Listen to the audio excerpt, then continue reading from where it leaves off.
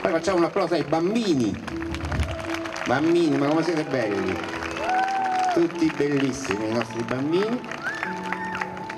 E poi facciamo un applauso al pubblico, a voi stessi che siete presenti qui e che svolgete il difficile ruolo di genitori. Finalmente in presenza, seppur distanziati e osservando tutte le misure anti-Covid, bambini felici e sorridenti, genitori orgogliosi e con gli occhi lucidi, un ritrovarsi necessario, indispensabile, con al centro la scuola e la sua funzione essenziale per la crescita delle nuove generazioni. Festa di fine anno alla Giovanni XXIII di Sernia e tempo di bilanci per il dirigente scolastico Bruno Caccioppoli. Questa è un'idea che noi avevamo già, stavamo già inseguendo e che stavamo già concretizzando realizzando.